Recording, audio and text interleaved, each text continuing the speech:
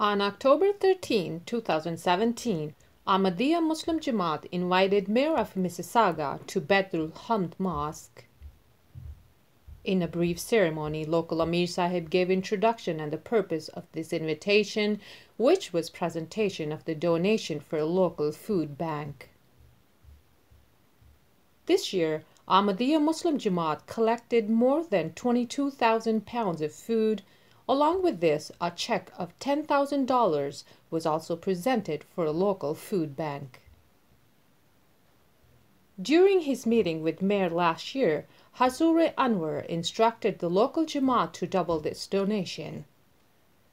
By the grace of Allah, local Jamaat achieved this target successfully, Alhamdulillah. During her remarks, the mayor of Mississauga, Her Worship Bonnie Crombie, appreciated Jamaat for their help and contribution for the humanitarian cause. Director Food Bank Christopher Hatch also thanked Jamaat during his remarks.